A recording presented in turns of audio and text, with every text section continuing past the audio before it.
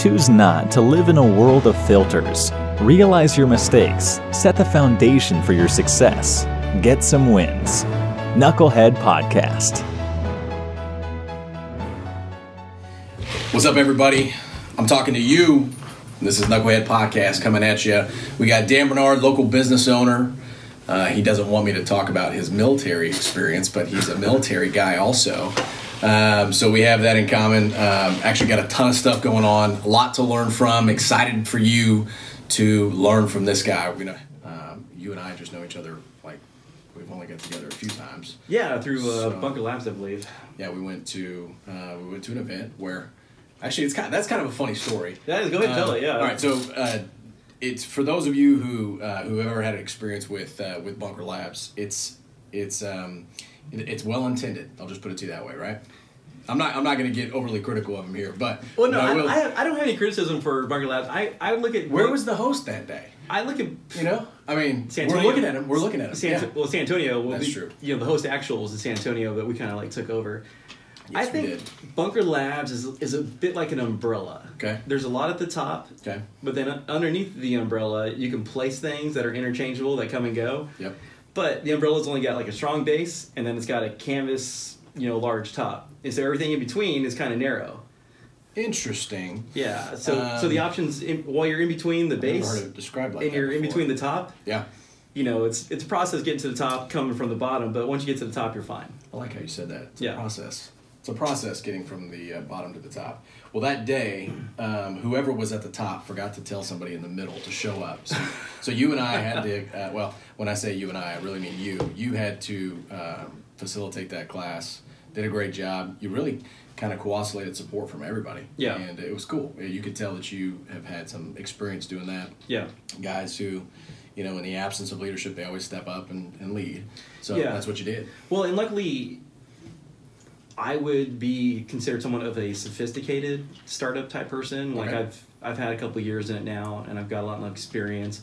So people who maybe haven't had that luxury of experience in that realm Yep. are probably a little bit more reticent to step up because they are coming from a position of um, basically low information, so to speak. So they don't really like know what to say or how to offer it. They're afraid that they're they're uh, everyone else in the room is smarter than they are. Sure. So there's a little bit of um, intimidation. Yeah, for for, sure. for people in that situation. Yep. For a fact, I think. And Yeah. so, if you're not scared of rejection and you're not scared of you know what people think about you, then yeah, you're gonna have someone like me, who, you know, be like, I'm just gonna initiate the conversation and see where it goes.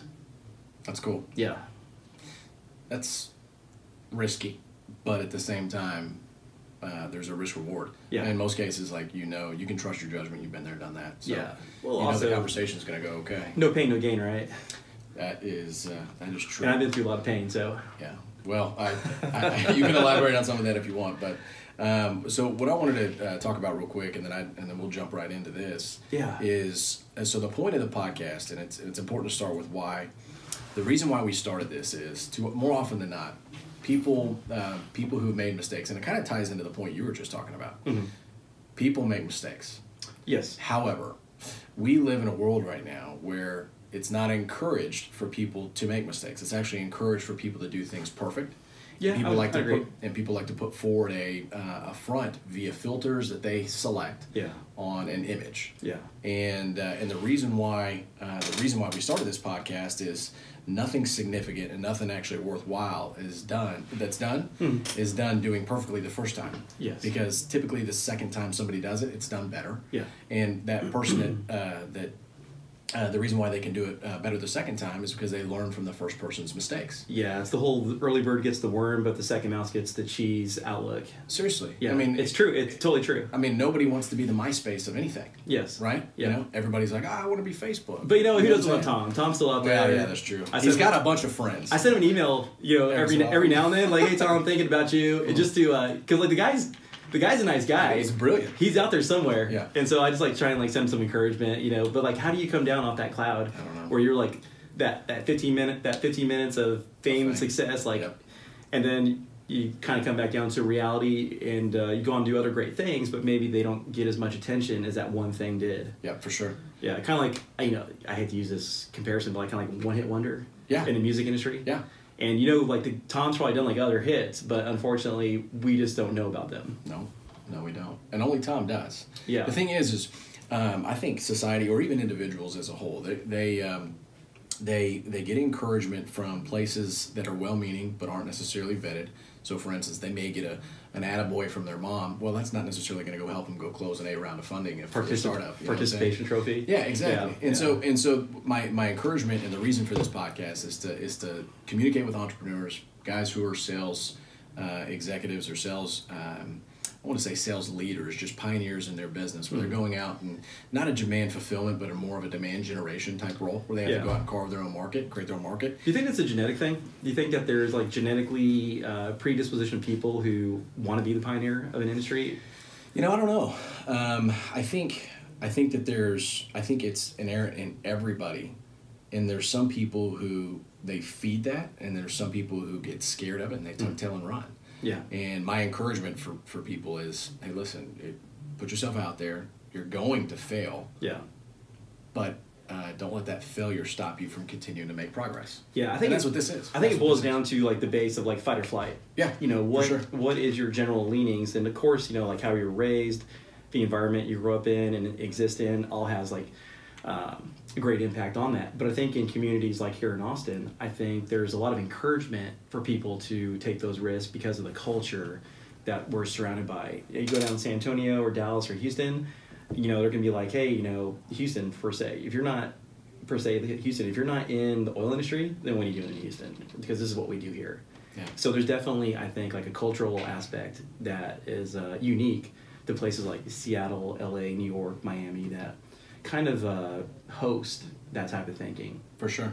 Yeah, I mean, go up to like Kansas. Even Kansas has got like a startup uh, area that has been kind of like uh, grown and matured over time. And I think uh, just like the entrepreneurial way of thinking has become popular in recent past. And I think where before you kind of like maybe like people didn't know what an entrepreneur did, where now they, they have a much better idea thanks to Shark Tank and some other things. I think it's much more acceptable in the community to be kind of like an entrepreneur. Yeah. And like, you know, growing up in my community, I grew up in Central Texas. So predominantly everyone worked for the oil companies or they worked agriculture or they were in government jobs of some some type or sort or uh, you know, they were whatever was in like the local area that, you know, kind of like goes hand in hand with that. And I think now you know, it's okay from the area that I'm that I've been in to be like a podcast celebrity on YouTube, like Demolition Ranch. Uh, that guy is from you know Boerne, Texas, where I'm from, but he's gone huge in social media because he's got a great personality and the way he approaches the problems that that arise is been very very popular and well received and entertaining. Sure. So now you don't necessarily have to go work at the feed store to start out. You can just go straight to YouTube and make a you know a national brand for yourself. For sure. Well, I mean, it's interesting you mentioned it, and you kind of finished with that point a national brand for yourself. Mhm. Is it okay to talk about? Yeah, absolutely. All right, so tell us about American Grip. What, what is that? Okay. And, how did it start? Because you're, that's not your background. Your background isn't necessarily manufacturing, heavy engineering, and manu- manufacturing solution. Correct. You're a, you're a uh, military guy, Yes. and yeah. that means you you know a problem, so you try to solve that problem. Mhm. So tell us about American. Yeah, so this year I'm going to hit 15 years in the military and I'm in the Texas Army National Guard now. And so basically, America Grip was a way to um, channel my already pre existing creativity and my drive and ambition. And a lot of people who uh, come up with ideas and things like that don't really know like where to start Okay. or what to do with them. So I grew up in a very entrepreneurial family. Okay. Uh, grew up doing construction, worked my way through college, joined did ROTC non scholarship, and got my commission. Really? Yeah. So I really like. You know, when I, we'll get we'll get to like when I was younger, like what I would tell myself now versus then. Sure. But uh, really, is a way for me to take my natural ability to create and come up with concepts and execute those concepts and take the lessons learned on the battlefield in Iraq and basically say these things, these items need to be manufactured for the good and the welfare of the common soldier and first responders because no one's making it. Um, and what I learned later on is that the gun industry in general is not really open like to new ideas. Sure. It's really set in their ways. There's a lot of innovation going on in the gun industry, but it's really hard to get it adopted. I mean, look at Magpul. Magpul just became the first. Uh, they just got accepted by the Marine Corps to be their uh, PMAG replacements for their their steel magazines. Yeah, Interesting. think how long Magpul's been around? Fifteen years. And- Not, not and- as long as Smith and Wesson, that's for sure. Yes, not exactly.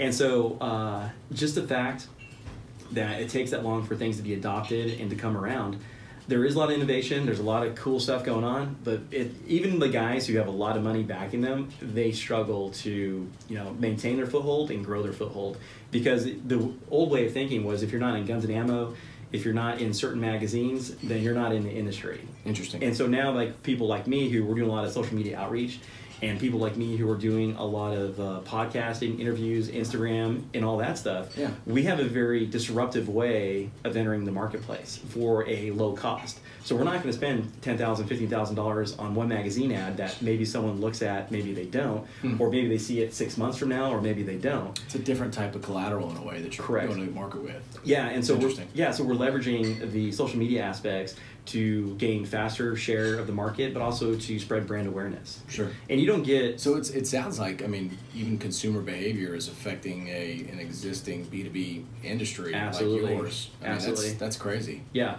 and so think about this. So think about like so we had Wow. during the Obama administration, hmm. we had eight straight years of panic buying. Everyone buying everything. Sure. Every time that they talked about taking guns away, the gun store uh, shelves would be cleared out. Yeah. So there's all this money uh, going, coming, going from the end user, from the manufacturers, Yeah. and they're buying everything. So everyone's jumping into the market, and there's uh, there can be low cost to entry in that market, and there can be high cost to entry depending on machining and things you want to do. So for myself, I built my business so if I have to deploy for the military, it can run itself. So, So- everything is very automated. I don't mean to. I don't mean to stop you. Let's go back to when you're evaluating the getting started thought process. Mhm. So, uh, how did you develop momentum differently than somebody who's got a good idea? They've already got a vehicle. Mhm. Most most of our audience right now has a job. Yeah. Most of our audience right now has uh, an idea, Mhm. and most of our audience right now is scared so much so that if they lose that original job, Mhm.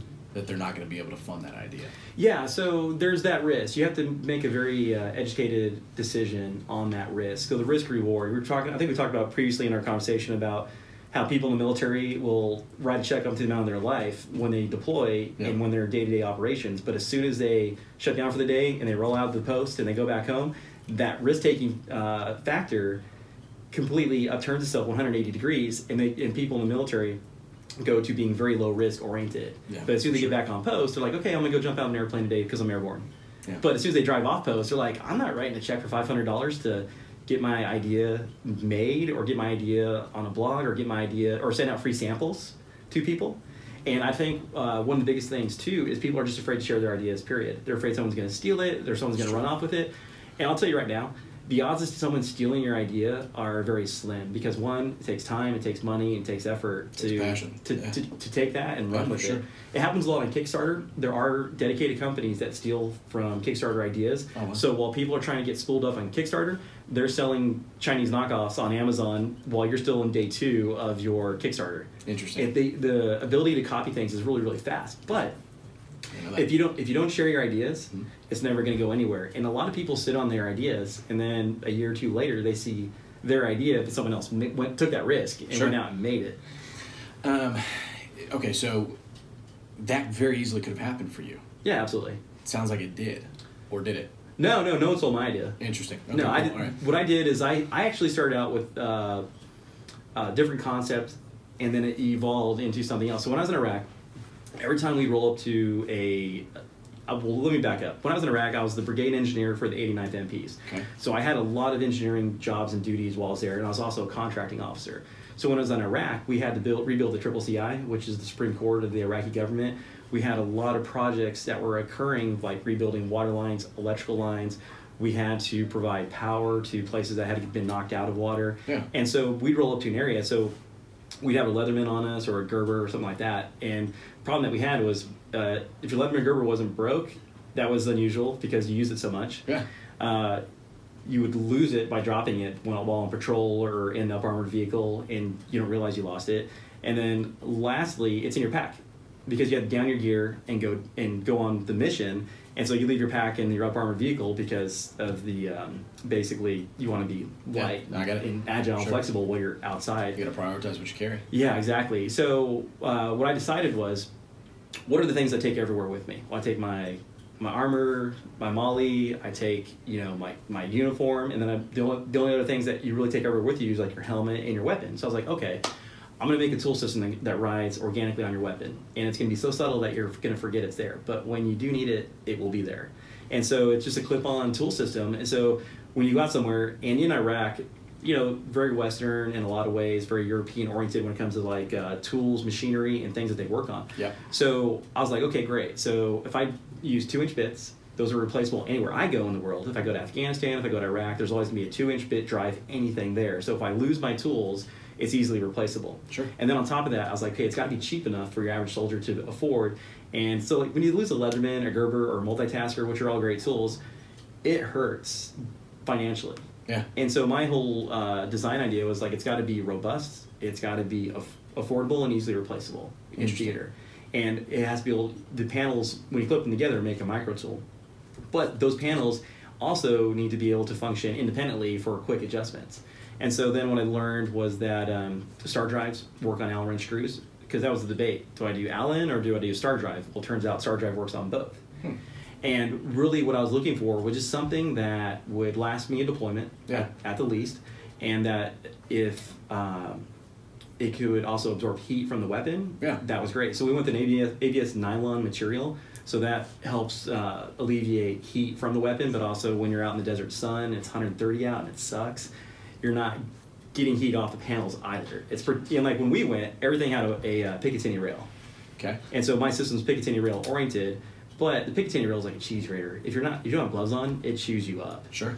And so the whole idea behind the tool grip, and then behind my other multi-tool, the dagger tool, was portability, portability, cost, dependability, and also for like our dagger tool that I created with, with the help of Chris Hernandez. He's also a uh, police officer out in Houston.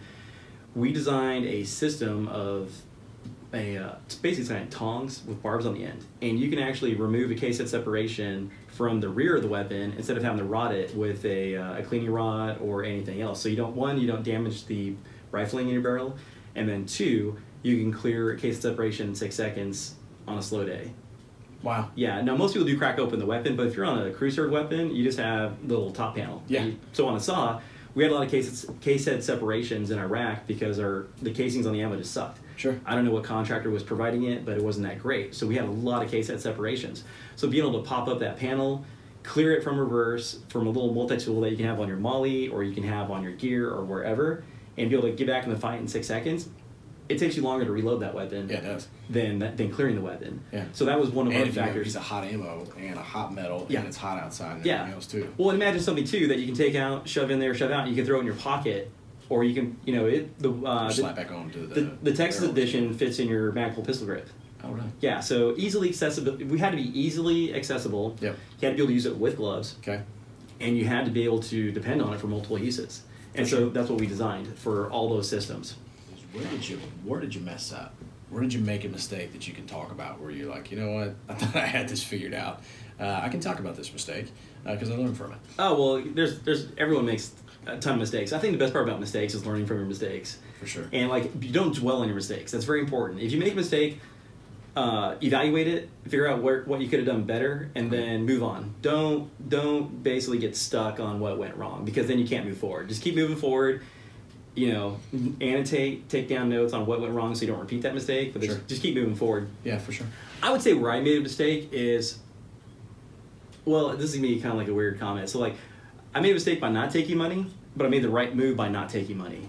Okay. If that makes sense. Yeah, yeah, yeah. Because by not taking money, that Yeah. gave me the freedom to follow my ideas and not have anyone putting pressure on me to go a certain direction or to make sales or to uh, create other things. I was able to do everything at my own pace Yeah. and my own cost. So I didn't have anyone pushing me saying like, well, you took X amount of dollars from me, I own X amount of equity in my company from you. So I think I think bootstrapping yourself is ideally the best way to go because then you have full control of your destiny. You can do whatever you want, Yeah. and the reward at the end of it will be much greater.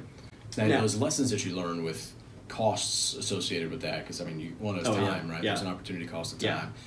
Uh, what what would be? Well, for example, like so, they told when I started this, several investors here in town told me that I needed at a minimum hundred thousand dollars to do Right. just the initial, like the patent, to do the development, and then do the packaging and all just the stuff, just so you can get to the starting line.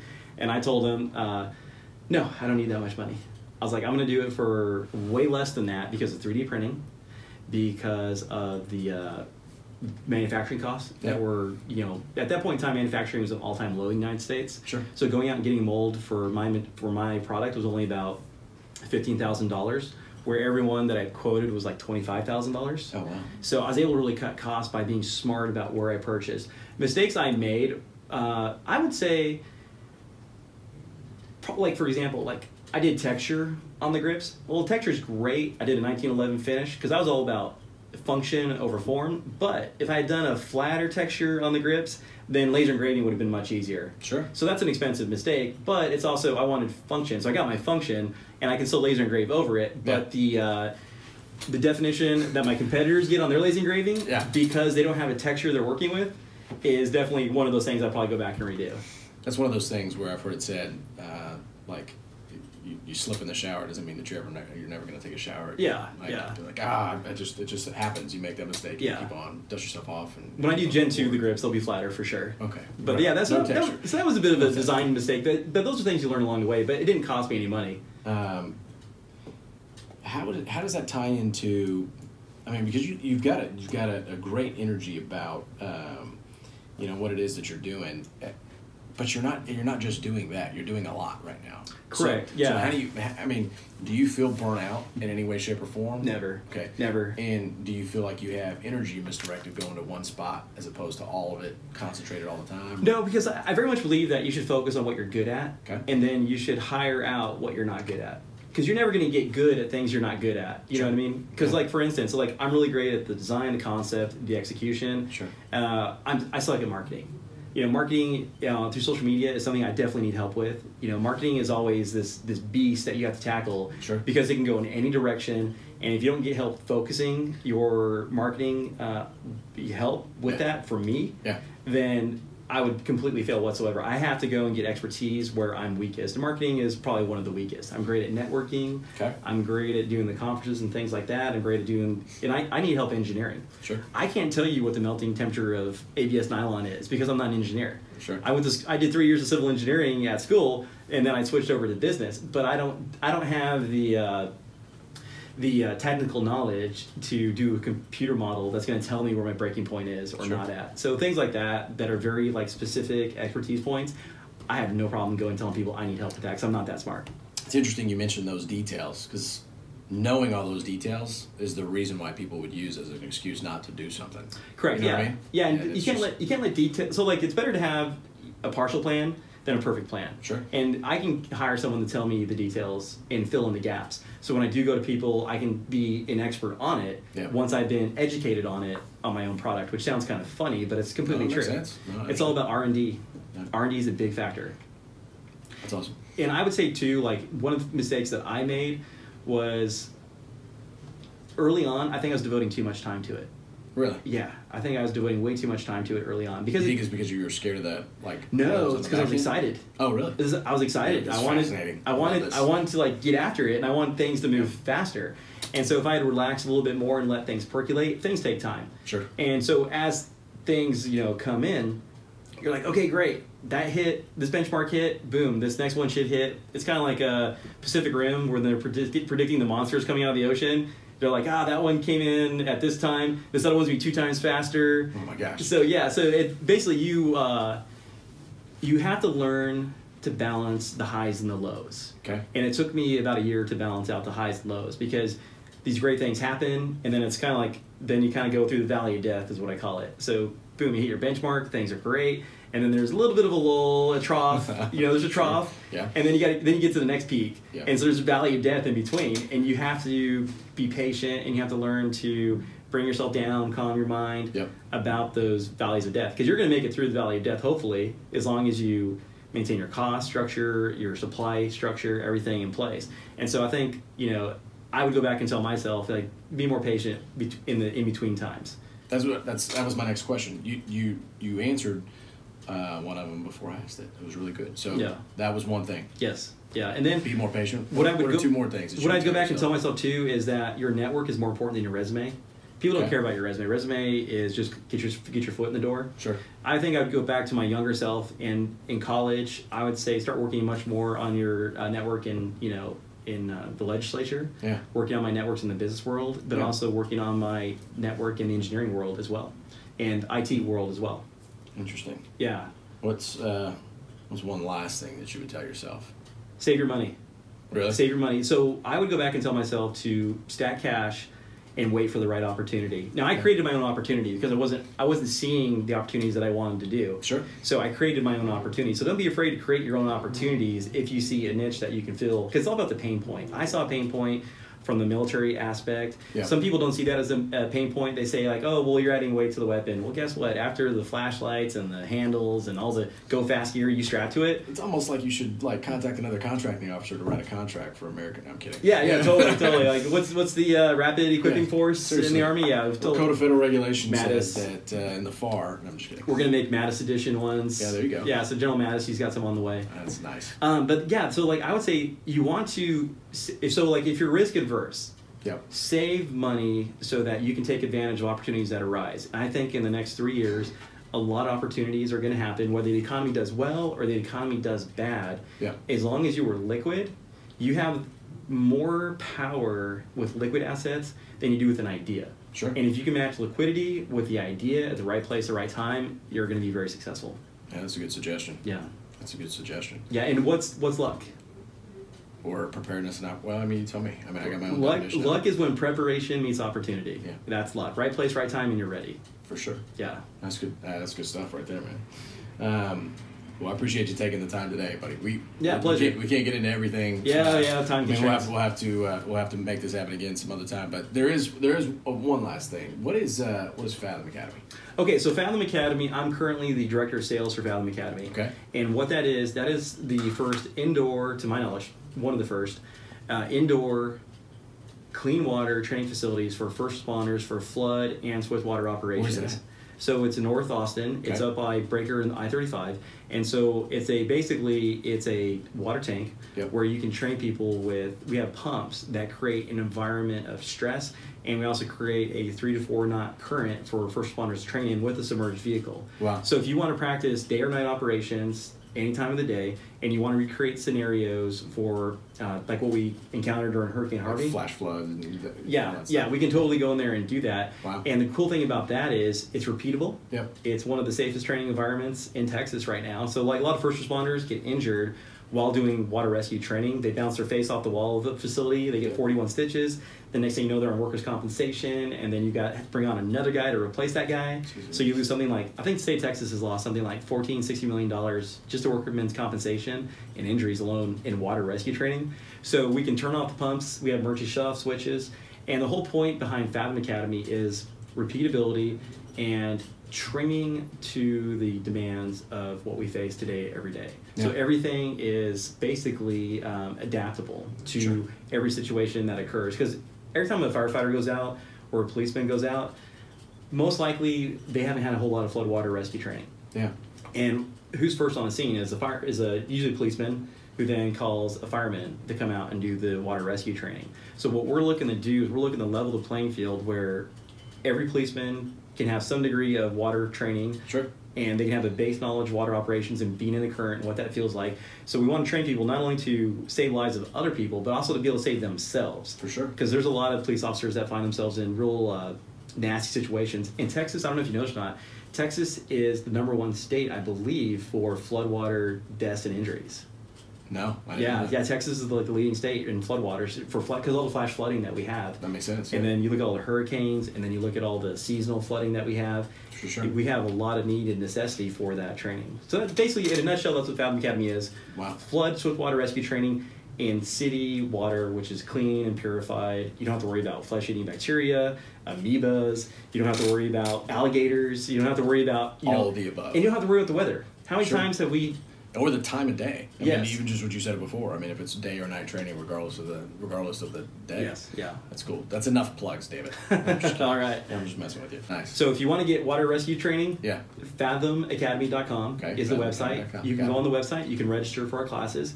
And then for America Grip, Yep. you just go to www.americagrip.com. Not American, not America's, America Grip. America grip. America Grip. okay, so singular. Yes. Got it like one country. Yes, like a you- sovereign nation in a way. Yes, because if you go to American, you're uh-huh. going to get a company that provides like equipment for film studios. And I thought the name was so unique. There'd be no one even near that name because it's patriotic.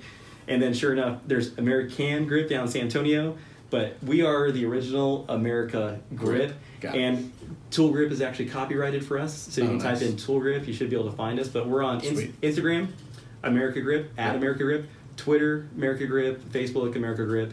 And then also you can, you know, if you want to call and reach us, we got our phone number on our website. That's awesome. And we do offer military law enforcement discounts.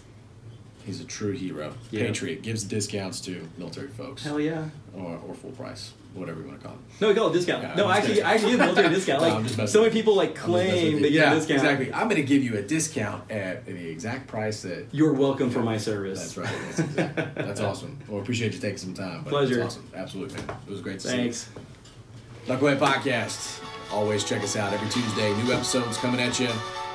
get some wins. Join us next week for another edition of Knucklehead Podcast.